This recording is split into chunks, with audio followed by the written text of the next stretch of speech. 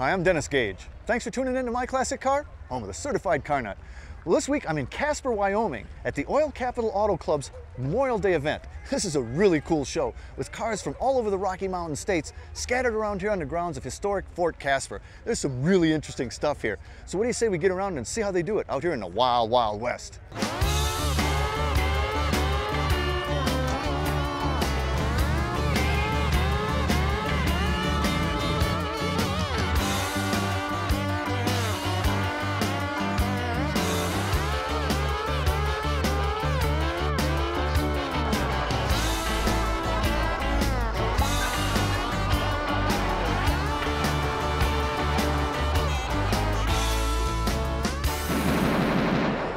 Steve, you got yourself a real cream puff here, I must say. what, what are we looking at? This is a 35 Terraplane? 35 Terraplanes. They didn't call it a pickup, they called it a cab express. Cab Express. Untouched original. Untouched original. I've put new tires on it, new plugs, uh, clutch. The clutch is a fluid driven cork clutch. Oh, a cork clutch. Wow. Cork wow. clutch. Ooh, wow, wow. But what a, I mean, what a find. Where did you, where did you find this? I found it in 91 at Harrah's Car Museum and everybody was buying the restored stuff and it, for some reason I picked up a Hemmings in January and I seen that it said there was three known in existence and I, since I had a couple Terraplanes, I just had to have it. So I went to the auction and here it is. So how many did they make? Uh, they made 332. And how many do you think are left? Three? Well, the club Hudson Club says two. Two left? This one and another one in Florida that's a hot rod. But this is just bone stock. You know, one of the things I saw when I came up, I just love these these headlight buckets, and what a lens. I mean, you don't want to break that baby. No, I broke one. Whoa, whoa. So now I use a little, little primitive, but my wife says this is the hillbillies. this is how the Clampetts had saved their headlight. And you just you just Clips right in Clip to the hood latch? hood latch and, and off we go. And that you go. So that's your new headlight bucket, right? That's my headlight. That's, that's the true meaning of a headlight cover. Man, that's that is unbelievable. And you know, there's there's surface rust on this, but the body looks really good. And there's you know there's metal there. There's some serious metal there, man. You want to hear it? Sure, man.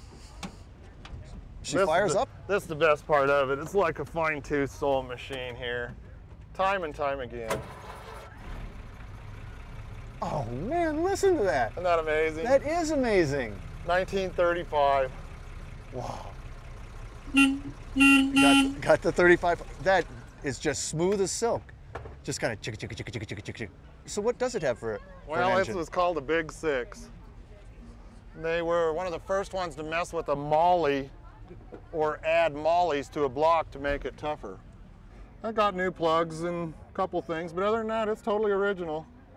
Never been apart to your Never knowledge. been apart to my knowledge. And she still runs like that. still runs. Man, Isn't that a testament to why they built them? it sure is. Now there were a lot of a lot of options on these cars. Everything you paid for almost everything. on Pay them, for right? everything from the rear view mirror to the jockey box to the wipers, Yeah. uh, a radio, a heater.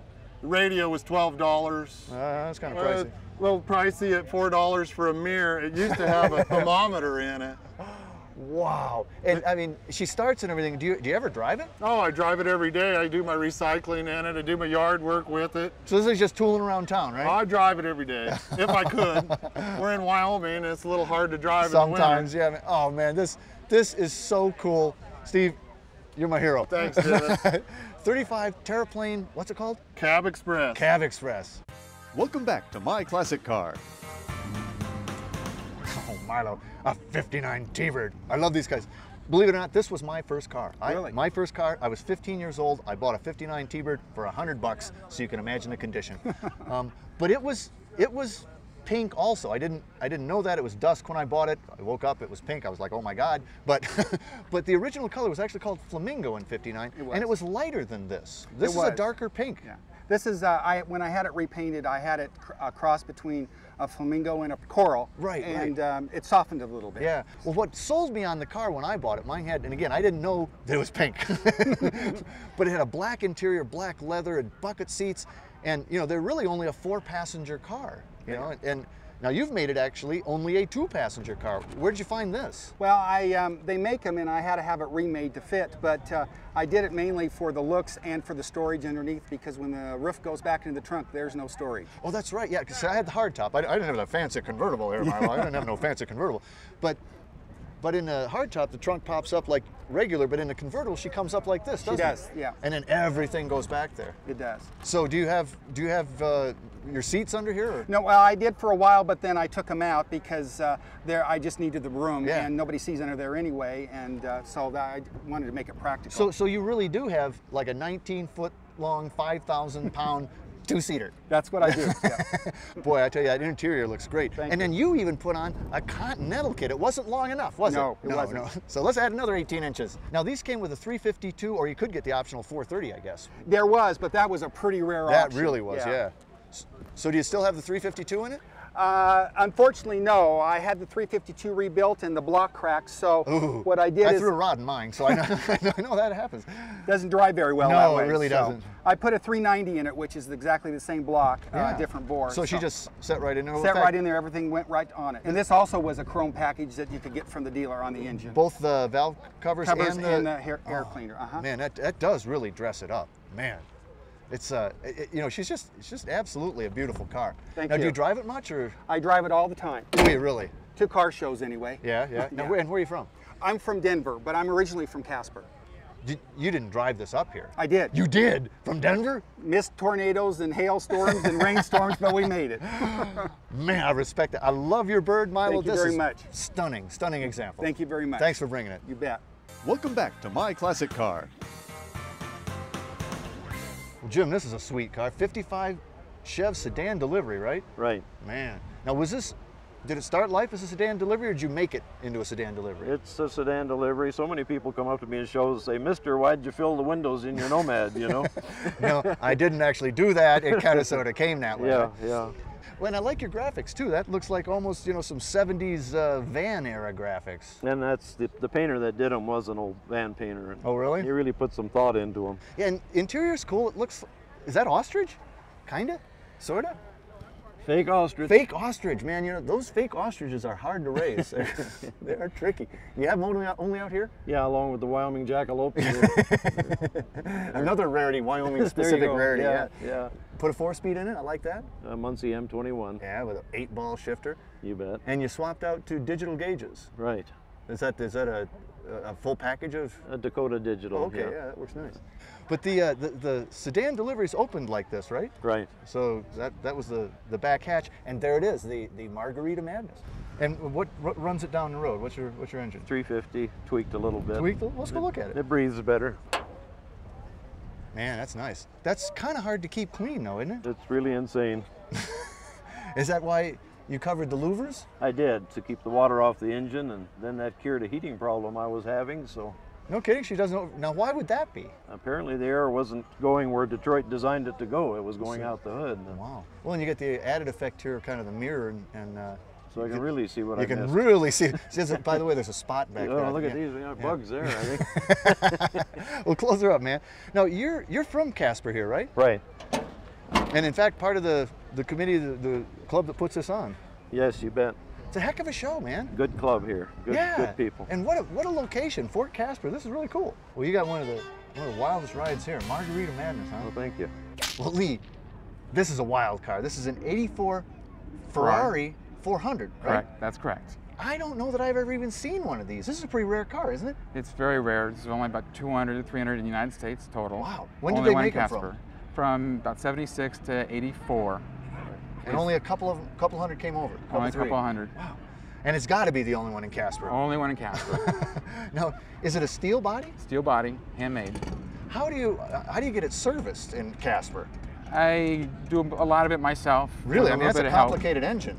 It's it's still just an engine. Still just an engine. know. well, that's that's the right way to look at it. and I guess yeah, I guess that's true. But man, it's a you know it's a different body style too. And what an interesting color for a Ferrari. It's it's brown It's basically. it's Ferrari maroon, which is Italian for, for brown. but you get back here and it's clearly Ferrari. I mean, back here it's framed, two taillights on each side, the rearing stallion. I mean, that's that's clearly Ferrari. When I went by, the, the interior is gorgeous. It's completely original. Uh, yes. Man. And it's it's an automatic? Automatic. Ferrari 400 was the first body that um, Ferrari made with an automatic transmission. Man. Well, how does she how does she perform? I mean, does it do well with an automatic? It does well. It, it, it's a high RPM car. It, the the um, power band is up in the RPM, so once you get up, it does really well. So what what powers it? I mean, it's a Ferrari. Does it have a V12? 12 cylinder up front. Well, that's that's Ferrari, all right. And it looks like a driven Ferrari. Yes, it is driven. I, I- I enjoy the car. I think they're they're here to be, be driven, taken good care of, but have fun with and drive them. It, it's got great lines, man, and it, and it is. It's the only one here. Thanks so much for bringing Oh, you're out, welcome. Lee. Thank you for talking with me. Way cool car. Welcome back to My Classic Car. Joe, smoking Joe. what do we got here? We got a 30 Model A 1930 Model A pickup. It's all steel cab. hauler, right? Uh, yep. This is cool. Now, did you build this baby? Yes, I did. It's my first attempt at metal fabrication and body Really? work. So, so I mean, you you fabricated a lot of this stuff? yeah, Like, about 85% of it I built myself. Man, so how, I mean, like you you did the bending and all that? I did the bending, made my own tools out of pipes, and Really? Yeah. Wow.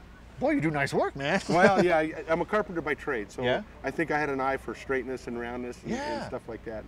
This is this is really cool. So she's a steel cab, All right? steel cab. And how about uh, fenders are glass? The, the fenders are glass, front and rear. It's the only thing that's glass. And it wasn't this long, was no, no, I put the 12-inch extension on it. The old Model A's, there wasn't much room in there it? to No. drive. And you're a big boy. And, and you know, the older you get, the bigger you get. and so uh, I found a back window, opera window, out of a 28 uh, four-door sedan Uh-huh. that matched the body line, and I shortened it down to make it look good, and added the, the foot onto the, the cab, wow. and then flush mounted the doors, and then also suicided them. Oh, did you? Nice. Nice. And you did all this. Did all this. That's really impressive. And then you you did make it for comfort. I see it. You know, it's it's you, you can move back there. You can get Yes. some space. Yep. What's Yep. your is that bird's eye maple? This is bird's eye maple. Like I say, I'm carpenter by trade. This is the very first thing that I did. Nice job. And uh, of course, you got trucker, you got to have air horns. Well, of course. I mean, it wouldn't be right. And was it a was it a, a hauler when you found it? A Um, when she she bought it for me for our 30th wedding anniversary. how cool! You got a good a- woman, man. Yeah. BR five four nine. BR 549. What's the story on that? Um, Hee Haw, years ago, Yeah, yeah. there was a uh, guy on there named Junior Samples. Everybody knows who he is. He Yeah, used yeah. to sell uh, used cars in a cornfield. and he always said, if you want to buy a used car, you call me at BR 549. I love it. I love- well, man, I, I you know I love the look of this thing, and you've chromed out, uh, you know, the the hook and everything. I mean, smoking. and Colorado, do you uh, Live in Denver, just east of Denver. and you drove up here with, in We, this we drove, yes, we've got, it's our third year and I've got 15,000 miles on it third year for the truck or for the truck. really? Now, have you ever been to this show before? No, this is the first time we've ever come It's kind of a cool show, isn't Oh, it? it is. So far, it's great. It's I love the setting and great. Fort Caspar. It's really nice. Let's look, let's look at that engine. Sure. So you got a blower too. yes, I've got a uh, L82 Corvette 350 with Yeah? a 144 B&M blower. That's nice. And how does she run? She runs good. Oh, it runs great. Uh, we, we've got some highway gears on it, so it's 70, 75, it cruises very nice. That is really cool. You know, a lot of people ask me how come I don't show the motor, and you and I look at the truck, I go, why? yeah, exactly. Yeah, you know, there's so Exactly. much to look at anyway. But, It- uh, this is a really great job, and I'm just really impressed. It was your first time out. well, thank you, Dennis. Man. I appreciate it. Joe, excellent work. BR 549.